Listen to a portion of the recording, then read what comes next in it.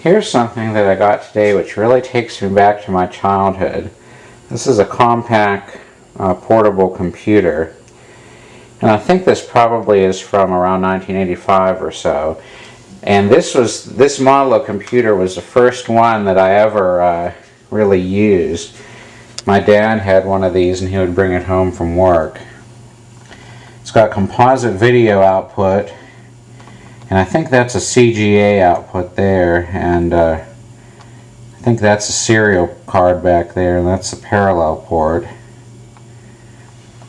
And I use that composite video to make a video karaoke system.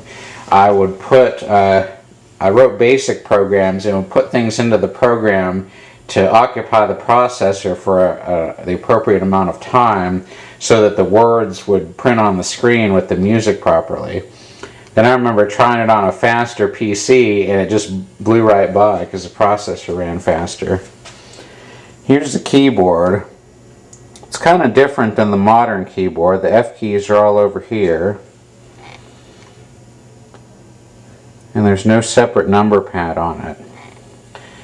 The one I had when I was a kid is still at my parents' house, but uh, you know how, how I would get it. It quit working in the keyboard, and I tore the keyboard apart, and I don't know that the keyboard will ever go back together, but I think I still have parts of it there.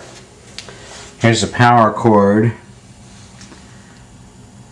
Made in USA, model 101709 and the fan is up in here. You can store the power cord up in there.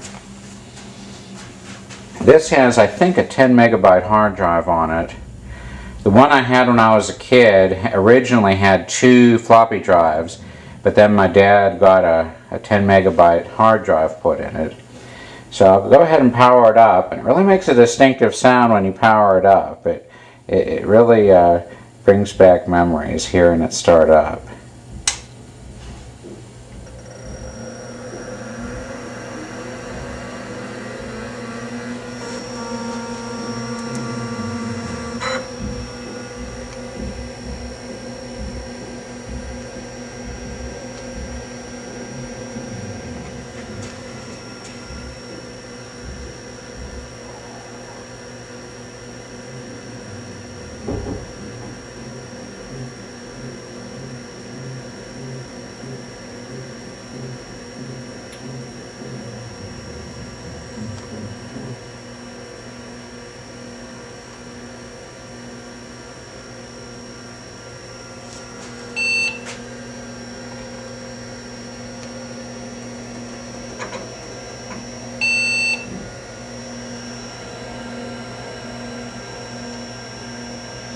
Okay, so I've got the C prompt now.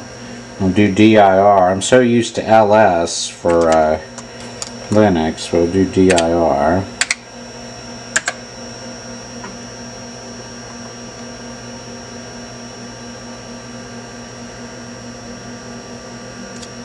Let's do dir slash p.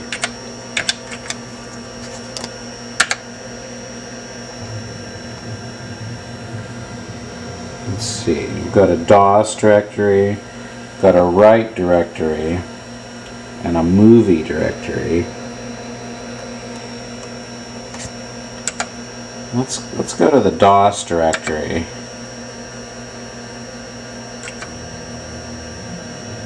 Wonder what stupid.bat is. I don't know what that is. Let's see, let's do cd DOS.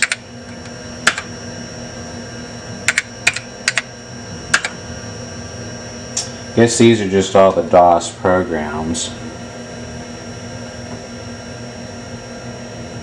I think this has got Basica uh, or Basic A. Demo1.bas. Let's try Basica. Uh, oops.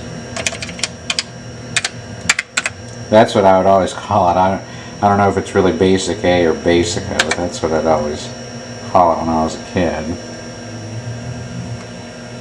And I think later we ended up getting GW Basic for this.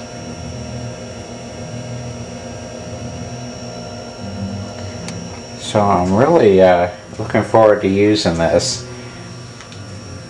And the keyboard does all seem to work correctly on it.